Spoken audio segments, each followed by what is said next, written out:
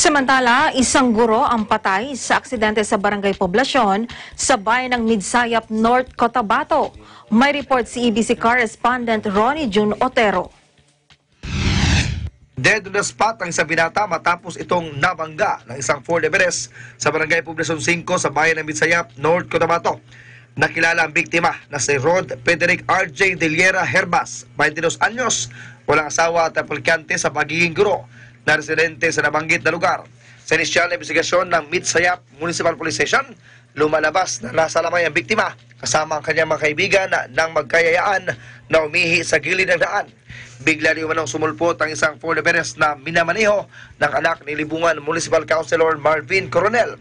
Aksidente ni manong nabangga ang biktima na nakalakad, nakaladkad pa ng ilang metro dahilan upang magtamo ng seryosong sugat at magkabali-bali ang mga buto nito dahilan upang ito ay mawala ng buhay.